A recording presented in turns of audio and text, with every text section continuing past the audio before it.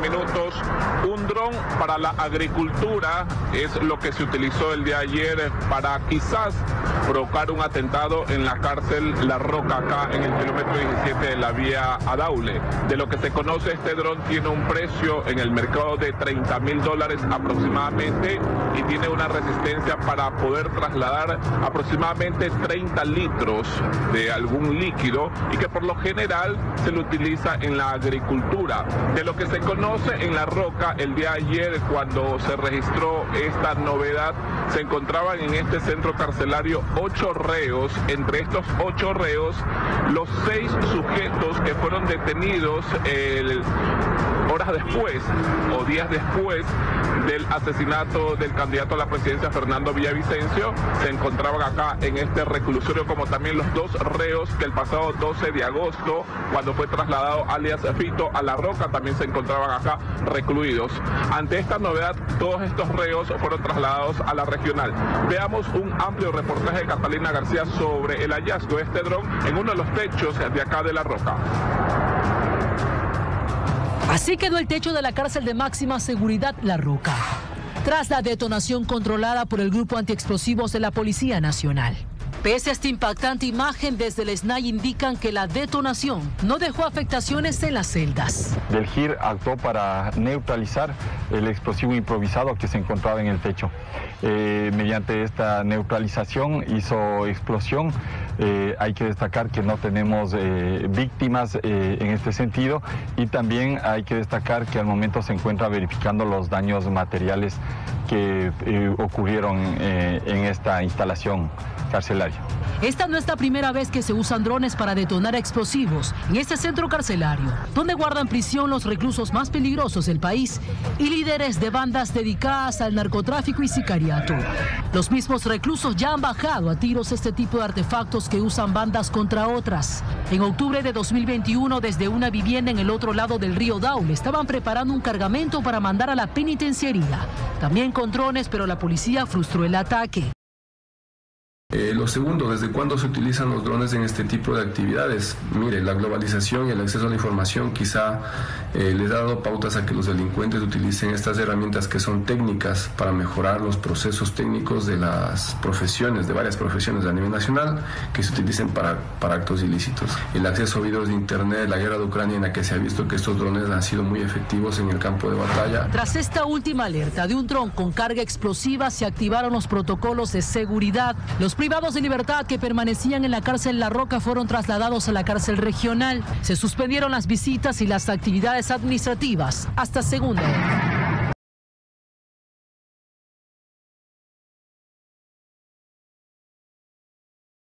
Ahora quiero contarles que hasta el momento solo dos de los diez puertos del país han instalado los escáneres antinarcóticos, pero según el SENAE, hasta el 15 de noviembre, los demás habrán cumplido con el decreto ejecutivo.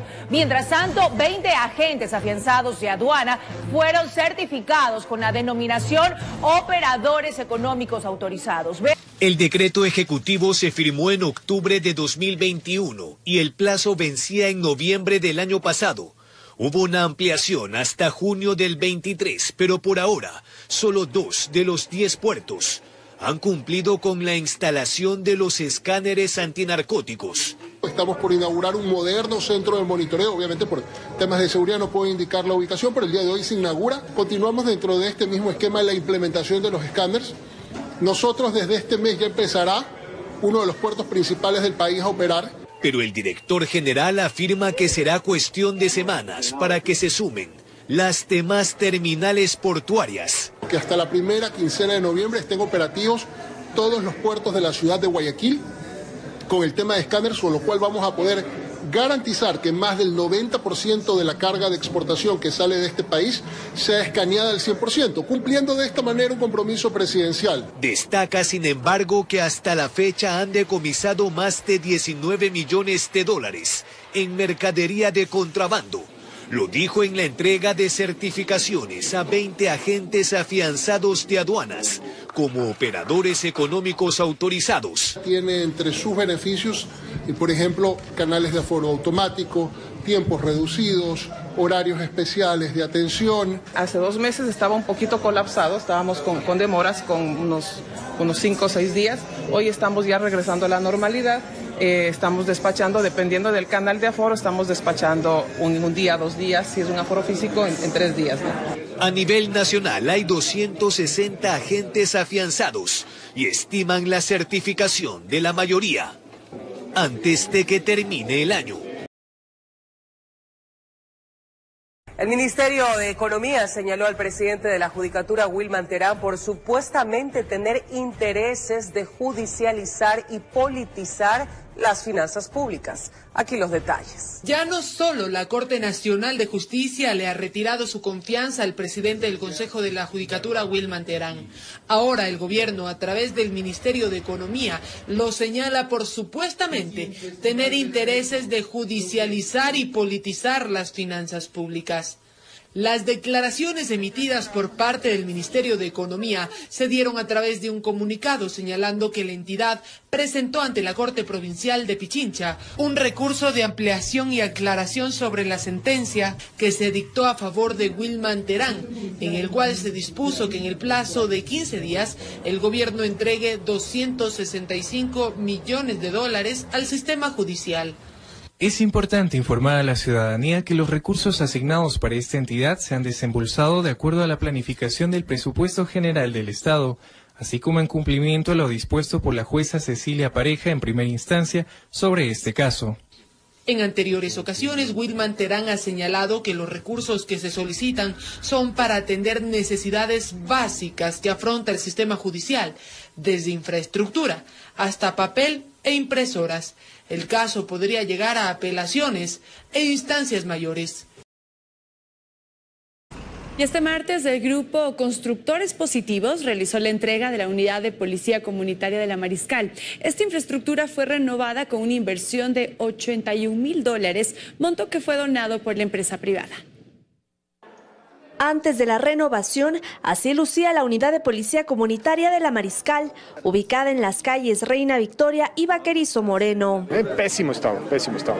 Por eso decidimos hacer una intervención profunda, no solamente maquillar, sino cambiar todo lo que son ingenierías, tuberías. Por ello, constructores positivos, dice Maica, eligieron a este punto como prioritario para realizar la intervención. Lo hacemos por la ciudad, pero sobre todo le hacemos por las señoras, las señoritas y los señores servidores policiales. Cada mañana se despiertan dispuestos a dar la vida por nosotros. Para la ciudadanía, esta es una buena noticia por los altos índices de delincuencia que se registran en la ciudad. Por su parte, el alcalde de Quito, Pavel Muñoz, señaló que los índices de delincuencia común han disminuido. No obstante, la cifra de delitos relacionados con el crimen organizado aumentó en los últimos meses. Es decir, tenemos menos robos que antes, hay menos robos de autos que antes. Esa es la buena noticia. Dentro de la mala noticia, ha crecido de manera significativa los homicidios, ha crecido de manera significativa las y los secuestros. Por lo tanto, no podemos terminar de estar tranquilos. Por ello, el Cabildo realizó la entrega de 26 motocicletas a la policía.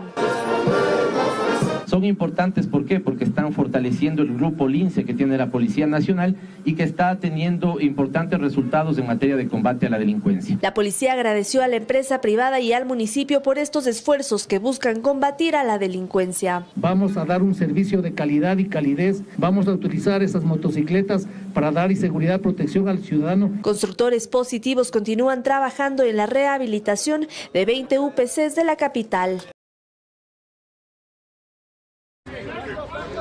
En solo horas y después de permanecer en confinamiento en una casa de transición de reos en Long Beach, California, Emma Coronel saldrá este 13 de septiembre en libertad condicional, según confirmó a Noticias Telemundo el Buró Federal de Prisiones. La sentencia incluye cuatro años de libertad supervisada más un pago de casi millón y medio de dólares. Emma Coronel seguirá con su vida privada porque está bajo vigilancia. Le dijo muy claramente cuando la sentenció que esperaba que se dedicara a criar a sus hijas y llevarlas por el buen camino. La reina de belleza fue arrestada el 22 de febrero de 2021. Estuvo un año en la prisión de Virginia y luego 15 meses en una cárcel de mínima seguridad de Texas por tráfico de drogas y lavado de dinero. Ahora en libertad podría visitar a su esposo el Chapo en la cárcel de Colorado. No creo que, que va a visitar a, a Chapo posiblemente va a tener comunicaciones a cartas, cosas así. En una carta del Chapo Guzmán pide a las autoridades de la prisión que de favor autoricen que lo visite su esposa Emma y también que le lleven a sus niñas. Emma Coronel no está impedida a continuar con su línea de ropa una vez en libertad. Emma Coronel tampoco podrá ir a México con su familia a Durango. Es parte de las restricciones de la libertad condicional. Abogados consultados dijeron que tendría que pedir un permiso especial.